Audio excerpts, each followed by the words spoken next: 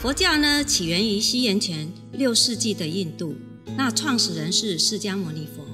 释迦牟尼出生于现今尼泊尔南部的王族家庭，他是一位王子。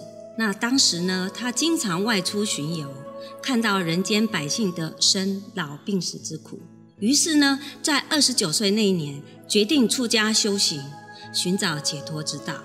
那释迦牟尼佛苦行了六年，成道于菩提树下，在鹿野苑初转法轮，弟子无数，八十岁涅槃。佛教讲的是因缘果报、六道轮回，必须要透过修行才能悟道，得以解脱。那接下来呢，我们来介绍佛足石。佛足石呢，是佛陀在世时留下的足迹。那佛教徒认为，参拜佛足石呢，就如同参拜生生之佛，可以消除无量的业障。那本馆馆藏的佛足石是西元二世纪灰色片岩的材质。那脚趾上的符号是印度教认为宇宙发出的第一个声音 “Om”。那 “Om” 呢，也经常在佛经里出现。那脚趾下面的万字是象征吉祥，再往下呢是八吉祥中的法轮，那最下面是莲花，那在法轮跟莲花之间的三形图案是代表着佛教三宝佛法身。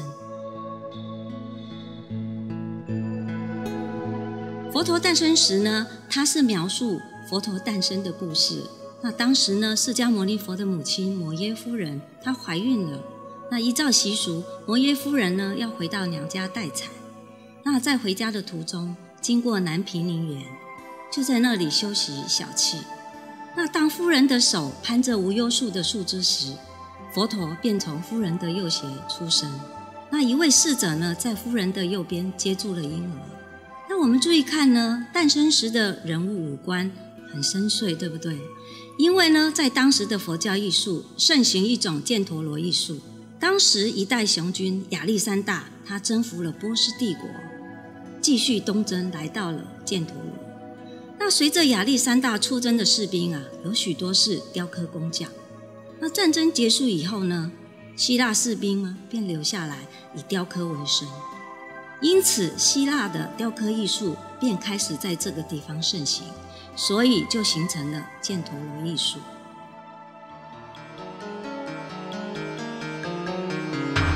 印度教呢是全世界信仰人口数第三大的宗教，它起源于古印度。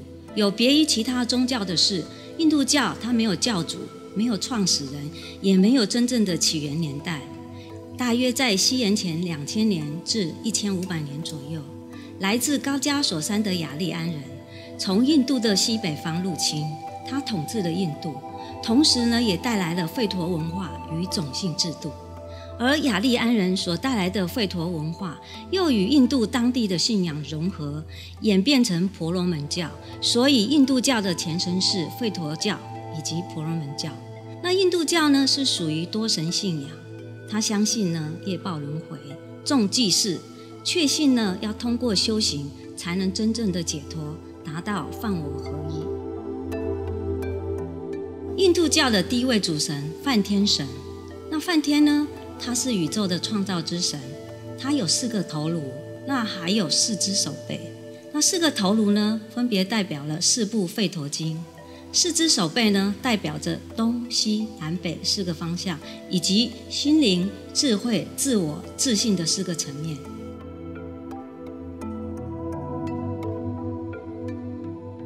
毗湿奴神呢，是宇宙的保护之神。那传说毗湿奴神躺在大蛇那嘎盘绕如床的身上沉睡，在宇宙之海漂浮。那每当宇宙循环的周期开始，他就会一觉醒来。那他一觉醒来之后，就会从他的肚脐长出一朵莲花，诞生了梵天神。那梵天就开始创造世界，而在一个周期之末，湿婆神呢就会来毁灭世界。所以呢，毗湿奴神。反复的沉睡、苏醒，宇宙就不断的循环更新。毗湿奴神呢是印度的守护者，他的性格温厚、和蔼且理性，是仁慈与善良的化身，在印度受到教徒十分的喜爱与崇拜。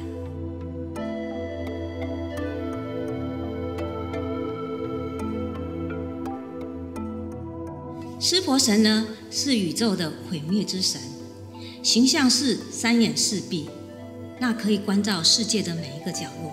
他手持三叉戟，那坐骑呢是一只白色的公牛，叫南迪。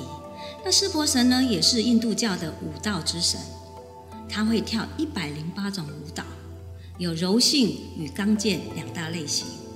那在一个旧时代结束时，他会通过跳坦达瓦之舞来完成世界的毁灭。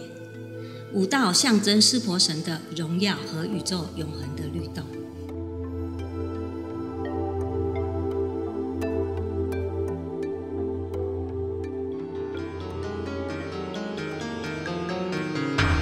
锡克教呢是属于近代新兴的宗教，大约在西元十五世纪末、十六世纪初，起源于印度西北部的旁遮普省。那创始人是纳纳克。那传说呢，有一天他在湖中沐浴，得到天启，受到神的召唤。再加上呢，当时纳纳克极度不满印度教的种姓制度和伊斯兰教的入侵，于是呢，他吸取了印度教。及伊斯兰教的某些教义，创立了锡克教。锡克教的信仰是一神论，主张在神的面前人人平等，反对祭祀制度及偶像崇拜，信仰业报轮回，确信人要靠神的眷顾和上师的指导才得以解脱。本馆收藏的圣典架，材质是木贴锡箔，装饰华丽。那圣典架呢，是安奉锡克教经典阿底格兰特的宝座。圣典就好像人类上师一样，受到教徒虔诚的供奉。那圣典架的蓝色布幔上呢，有用金线绣有象征锡克教的符号堪达。堪达中间的圆圈叫做恰卡尔，那它代表是唯一的真神。环绕恰卡尔的两把弯月刀叫可潘。那它分别代表神圣与世俗的权利。堪达上面的文字是旁遮普语，意思是高贵、象征真理的上师。那两旁有两个黄铜花瓶，它是用来盛装鲜花，表示对经典上师的敬爱。那下面有一把长剑，长剑呢，在锡克教的传统中，代表着保卫真理与牺牲奉献的精神。那长剑等同勇士一般。以上是锡克教简单的介绍，欢迎您来到世界宗教博物馆欣赏更多的文物。